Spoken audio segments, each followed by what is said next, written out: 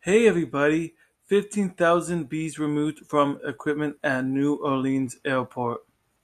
A team of bee removal experts were summoned to Louisiana's largest airport to remove more than 15,000 swarming insects that had taken up residence on a piece of equipment. Craig Forsyth of Bee Guys LLC said he and his team responded Sunday to Louis Armstrong International Airport in New Orleans after being contacted by Delta airline workers.